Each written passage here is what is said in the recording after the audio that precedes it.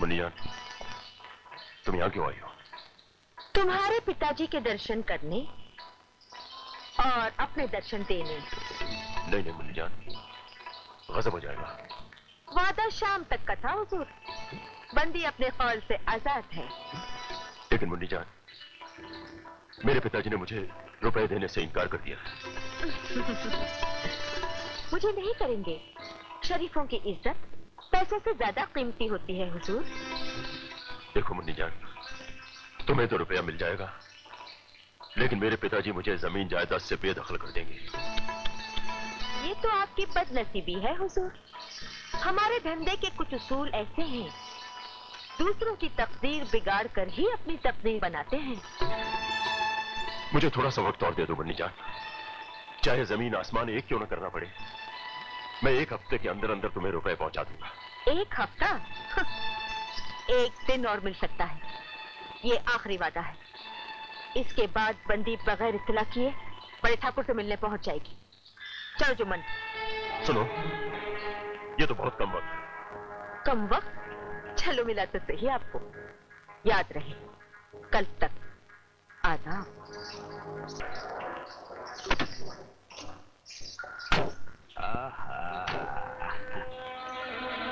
तुम्हारा तीर निशाने पर ही नहीं।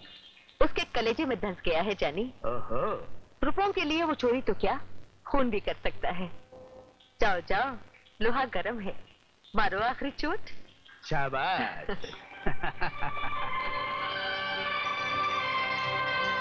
शाबाश मेरी जान दुम दबा के आ, बंदी का नाम मुन्नी जान है हुजूर दुम दबा के नहीं हाँ जानता हूँ जानता हूँ। लेकिन ये हमारा स्टाइल है। हम्म। तकिया कलाम। चलो जुम्मन आज रात एक ऐसा फल पकेगा जिसे हम ज़िंदगी भर खाएँगे। हाँ ज़रूर खाओगी। लेकिन ज़िंदा रहोगी तब। क्या? सुबह हो जाए तो चिराग बुझा दिए जाते हैं मुन्नी जान। तुम्हारी ज़रूरत यही तक थी। नहीं भरोसे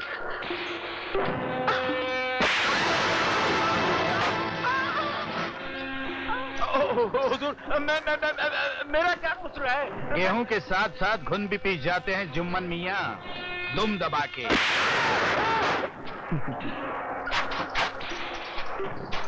ये तो बहुत बुरी खबर है। बड़ी जाती है जान। अरे ये कोठे वालियाँ होती है ऐसी। हरामजादी मतलबी लालची धोखेबाज। अरे तुमने उसे लाखों रुपए खिलाए। फिर भी उसकी भूख नहीं मिटी। भैरव सिंह कोई रास्ता निकालो वरना मैं बर्बाद हो जाऊँगा। मेरी मदद करो यार। छोटे ठाकुर तुम तो जानते ही हो कि मैं तुम्हारा सच्चा दोस्त हूँ। तुम्हारे एक इशारे पर अपनी जान भी दे सकता हूँ। लेकिन क्या करूँ? मैं भी राजा से रंग बन गया हूँ। तिजोरी खाली हो गई है और ज़मीन जायदाद गिरवी पड़ी है। अगर मुझे बेचकर तुम्हारी समस्या हल हो सकती है तो तुम्हारे सर की सौगंध। बेच दो मुझे चौराहे पर खड़ा करके। जानता हूँ मेरे दोस्त, पर मैं करूँ तो क्या करूँ? इतना सारा रुपया कहाँ से लाऊं?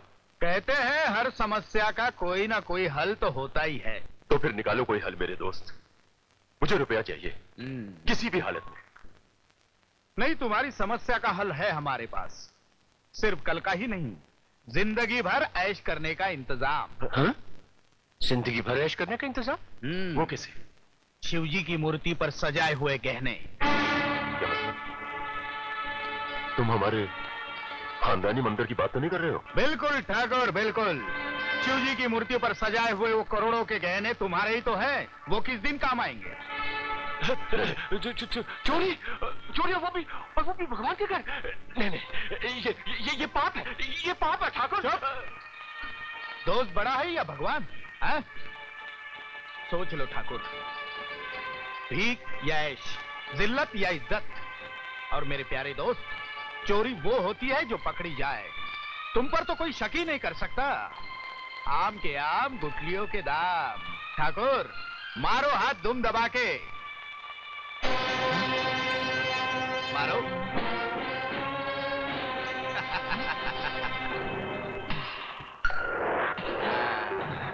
पार्वती ऐसा पार्वती संभाल के संभाल के।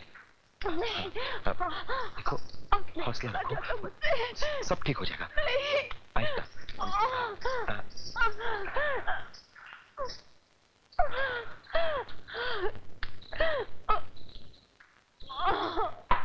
पुजारी जी?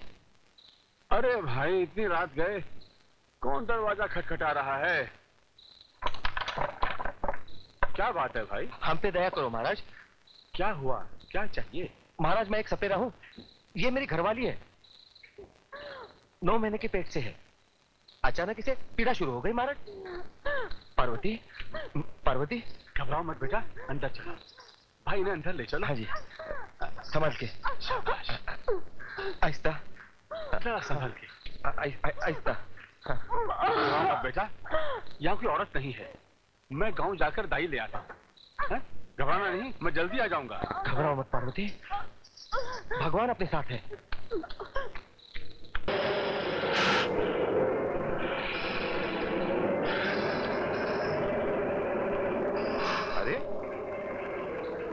तू क्यों बेचैन हो रहा है? देख, शिवजी ने मुझे बेटा और तुझे भाई दिया है। अब तो अकेला नहीं रहेगा। मेरा मुन्ना तेरे साथ खेलेगा। समझा?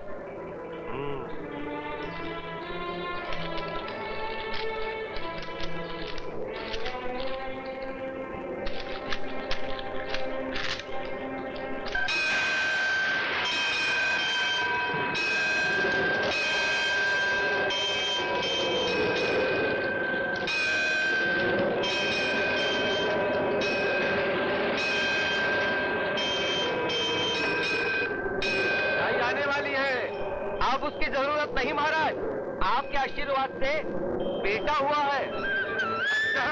जय भोले बाबा। आपकी कृपा महाराज। ये कृपा भोलेनाथ की है। मैं उन्हें प्रणाम करके आता हूँ। जय भोलेनाथ। जय शिव शंभु। जय हो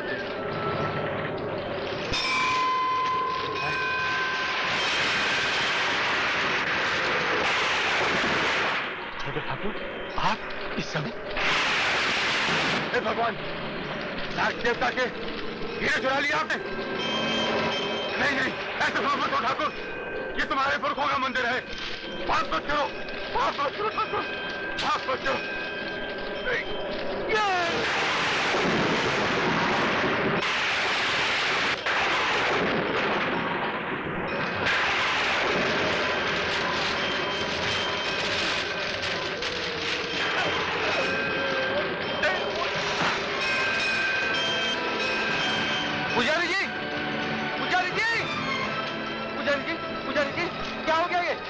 किसने किया? पुजारी जी।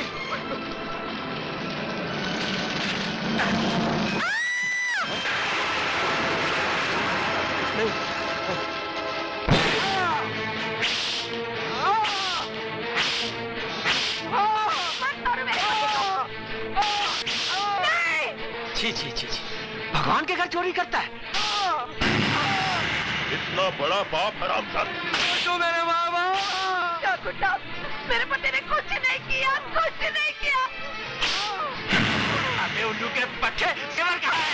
नहीं।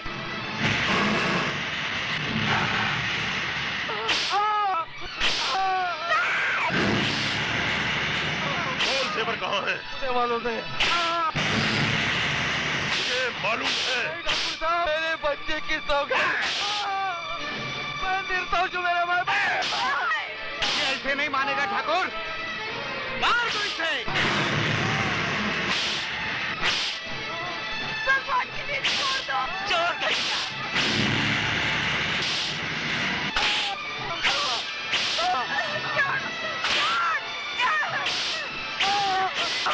तू हट जा पार्वती तू हट जा अगर तू भी मर गई तो इस बदनसीब को कौन संभालेगा? हट जा सपेरन तू हट जा पार्वती हट जा। हट जा रघुवीर। रघुवीर क्या हो रहा है ये? मेरे मेरे पति को बचा लीजिए ये निर्दोष है बचा लीजिए रघुवीर ये क्या कह रही पिताजी इस कमीने ने हमारे मंदिर से हीरे और जेवरात चुरा के पुजारी की हत्या कर दी है। ये झूठ है बड़े ठाकुर मेरा आदमी बेकसूर है। ये झूठ बोल रही है पिताजी। इसका आदमी रंगे हाथों पकड़ा गया है। ये रहे चश्मदीद गवाह। हाँ माई बाप। हाँ हमने अपने आँखों से देखा सरकार। पापी तो पहले तो शिव भक्त होते हैं। तुमने शिव मंदिर में ही पाप किया। भगवान तुम्हें इस पाप की सजा ज़रूर देगा। चलो रघुवीर।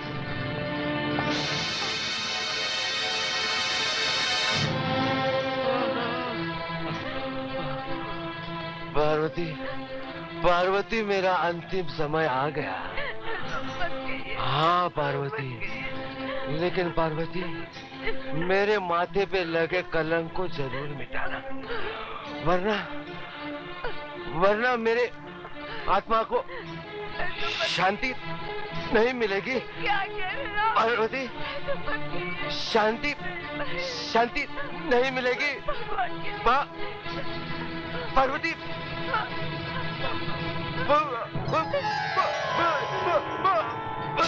एक राज होगा